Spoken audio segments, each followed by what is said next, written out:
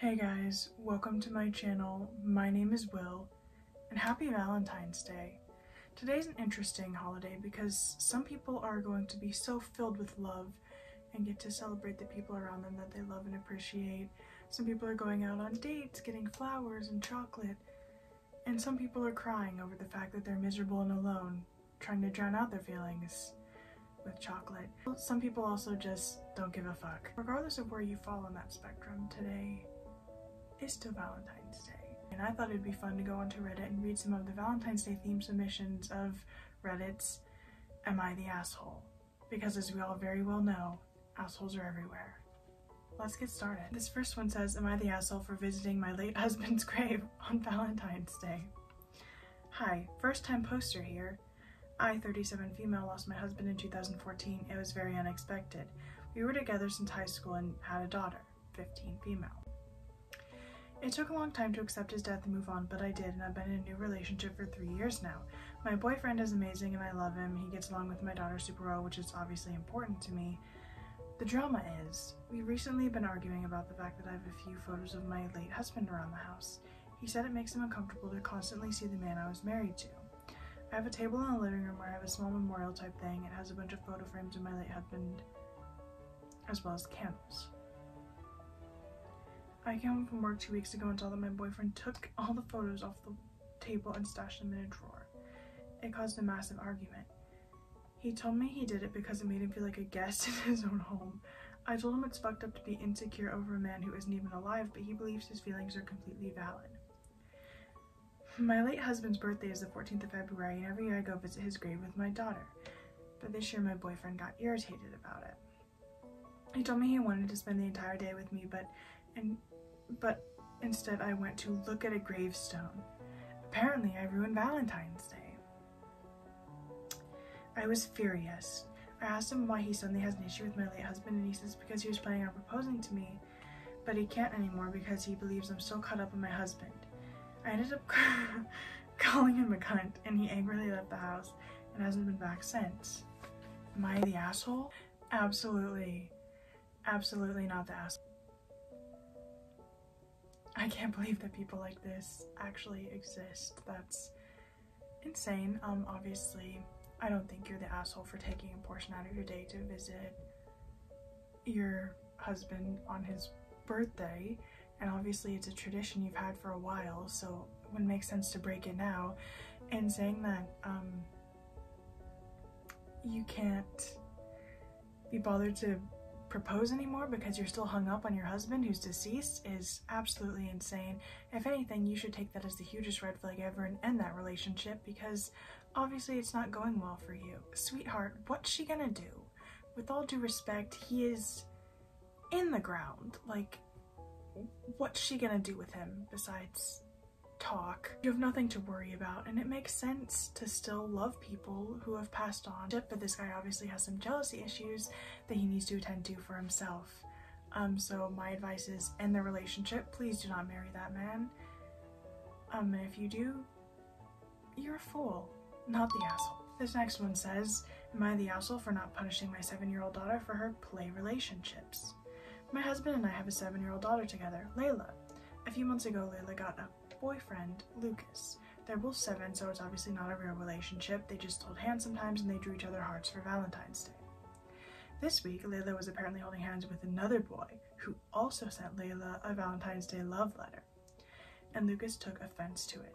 We found out because Lucas's parents called to tell us. Lucas won't be coming over to play this Saturday like originally planned because he's mad at Layla.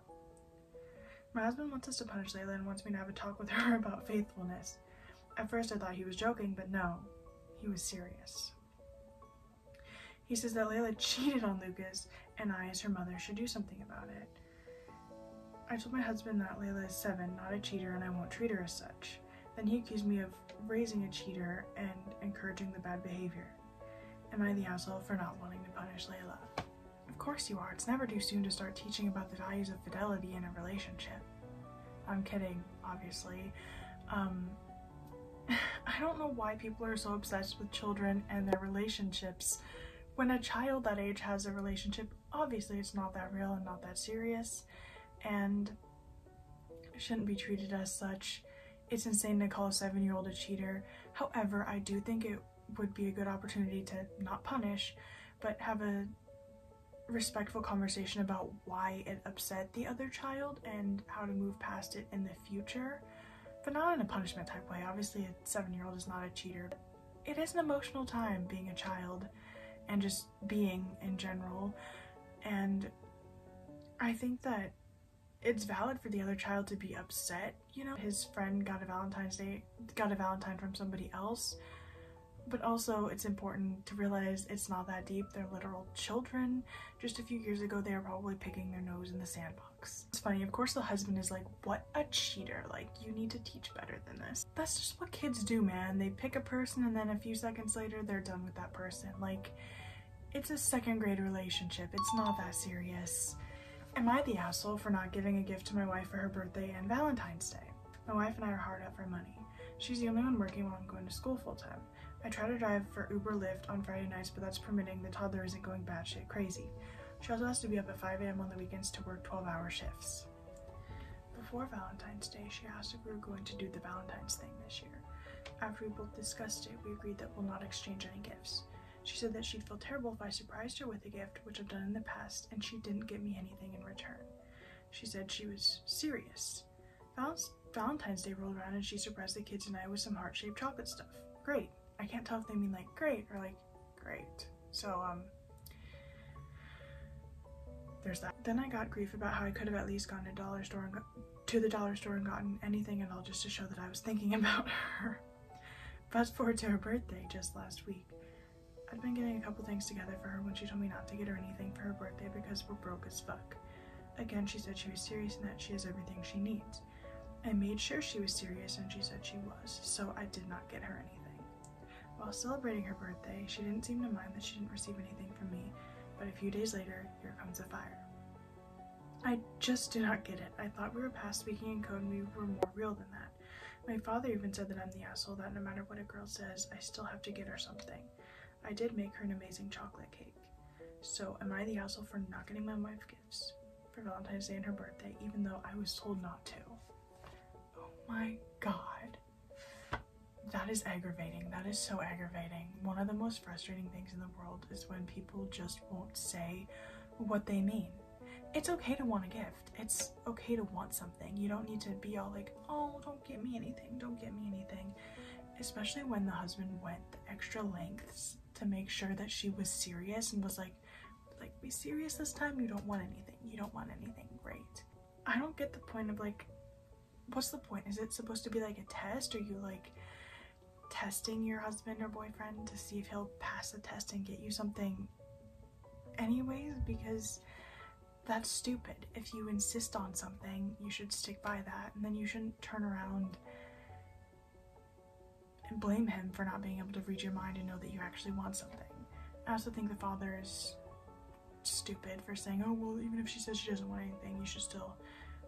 Okay, well, why is that so? Why should we just follow like mixed signals. Why should we constantly hear, no, don't give me anything, I'm serious, don't give me anything, I'm serious, but then still be expected to get something? Like, why should we just have to go under that? You know, I don't. I don't understand social things like this. He said he made her an amazing chocolate cake. That's still something. I still think giving someone food is something like you made her a cake for her birthday, I'm assuming. That's a nice thing to do. That's not nothing.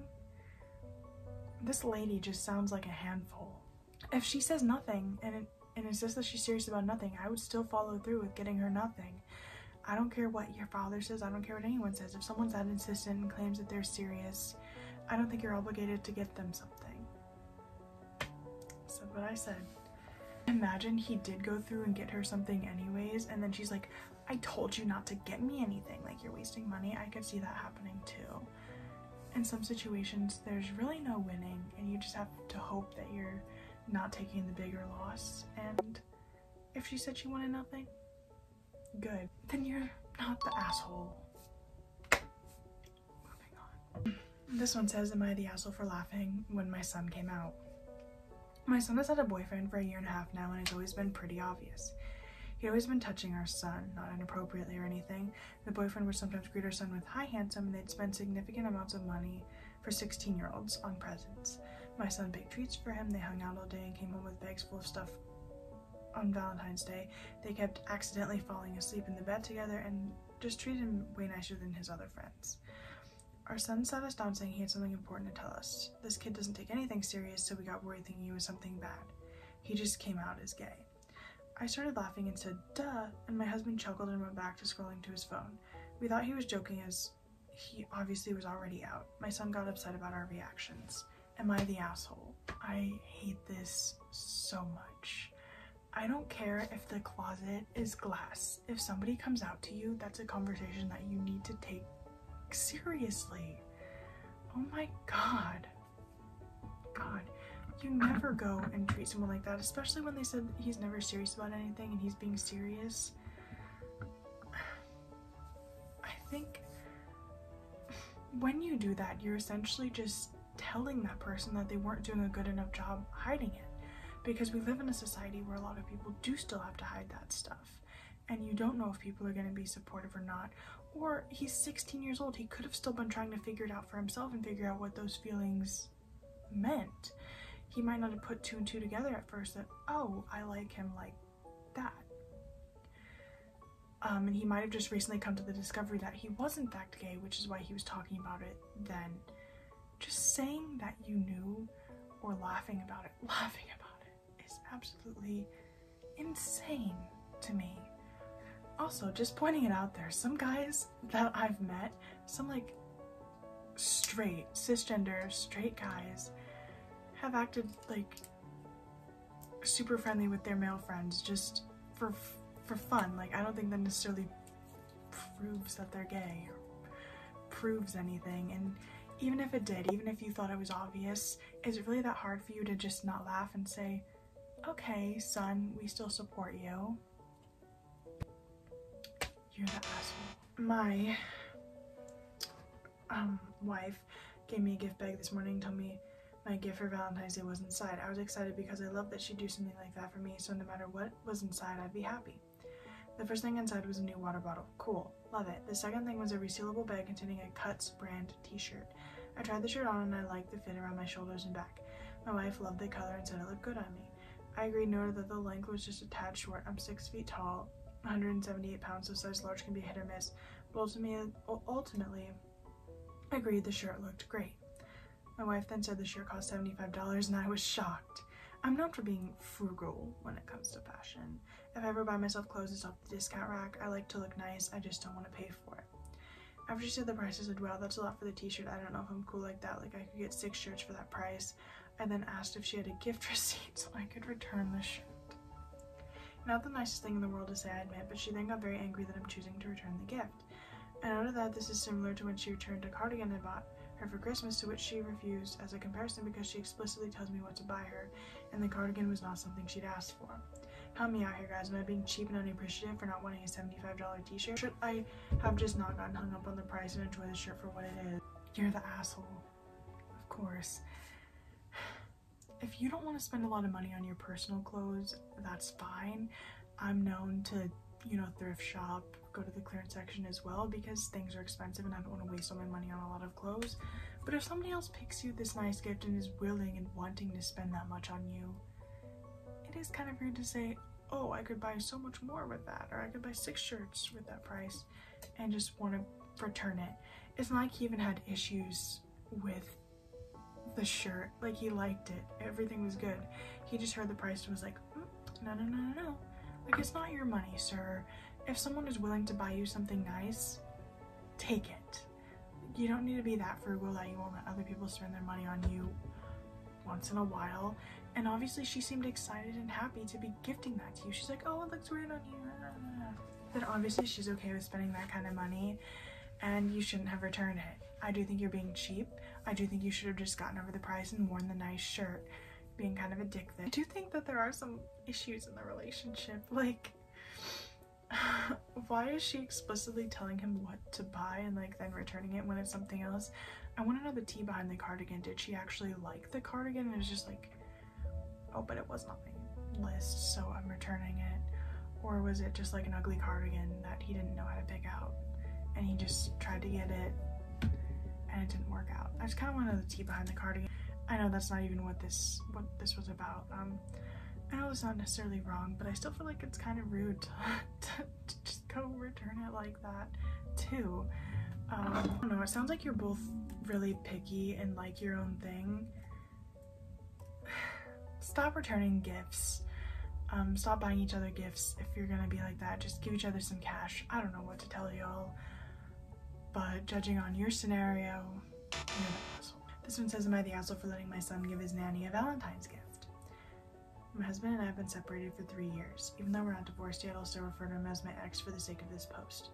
When our son, who's six, visits his dad, he's mostly looked after by his nanny. When my son was younger and I was explaining to him what Valentine's Day was, I told him it was a holiday to celebrate the people who you love and appreciate. I didn't specify that it was supposed to be romantic love. He typically wants to give his dad night presents on that day, which is sweet of him and we both appreciate it. Well, this year my son wanted to give his nanny a present too, so he made her a card and I got her a box of chocolates for him to give to her. He was staying with his dad the weekend of Valentine's Day, so naturally his nanny was also there and he took the presents to give her. When my ex dropped him off on Monday, he flipped out at me and told me it was inappropriate for him to be giving her chocolate or a card on Valentine's Day.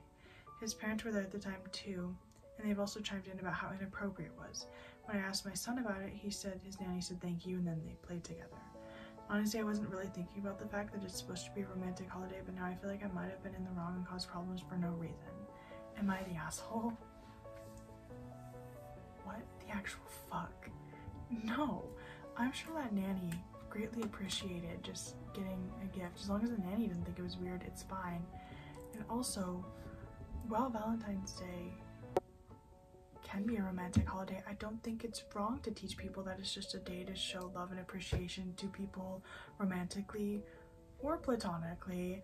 I don't think that's a bad thing at all. You know, every year my grandma still wants to give all her grandkids chocolate and stuff because she loves us. I'm not gonna say no. If I'm being completely honest, Valentine's Day is one holiday that I actually kind of enjoy. Are there things I don't like about it? Yes, but every year around Valentine's Day, I get together with my friends. Usually, we have like a little Valentine's Day celebration, and it's super fun. I love it. I always have a good time with it. Um, and I've had a rela- I've been in a relationship for very few Valentine's days, but I I mean, I don't feel terrible because I just have like my thing with my friends. Like, love comes in many forms, and I don't think it's wrong to show that on Valentine's Day. Absolutely not. Like, if little seven year olds can give their teachers and their classmates little Valentine's Day cards and candy, then surely he can give one to his nanny who he appreciates. I don't think it's that deep. You're the asshole, though. Or no, you're not the asshole. The, the family is the asshole. Okay, and the last one. Am I the asshole for not wishing Happy Valentine's Day back? We're six guys, all boys group, and three of them are single, including me. One of our committed friends wished us a Happy Valentine's Day. I don't think he had any evil thought of teasing singles of the group though, but even then I refuse to say same to you back to him because it's not happy for me, and wishing same to you doesn't seem to be a good reply. I don't want this day for him to be as happy as it is for me. I'm not happy. And no, I'm genuinely happy for my committed friends for their relationships. I'm not jealous or anything. It's just that I don't want to wish Happy Valentine's Day because it's not happy for me. So am I the asshole here? My god, you're a petty fucking asshole. And a little bitch if I ever did hear of one myself. You can't even be bothered to say, oh yeah, Happy Valentine's Day. Just because you're not happy. Sweetheart, get over yourself. Text it back and enjoy your misery. I don't know what to tell you. Do you think I think every morning is a good morning? Of course not. But if someone says good morning to me, 9 out of 10 times I'm still gonna say good morning back. I'm not gonna say, well, I don't wanna say anything because it's not good. I think you're a little jealous and you're just projecting that onto your friends. Like, we don't always have to be honest in life. If you're not happy, just say it back, bro. But that is going to be all for this installment of Am I the Asshole? People suck, I'll tell you that much. Um, what did we learn from this video? Um, say what you mean. If you say you don't want something, actually don't want it, or just be honest with yourself. Um, don't rain on everybody else's parade. Just because you're miserable doesn't mean that everybody else has to be. And it's okay to. And love doesn't have to be romantic, and you can show appreciation for people without it being weird. And people just need to stop being petty little bitches and get over themselves. Um, with that being said, happy Valentine's Day, everybody. I'll see you in my next video. Peace out.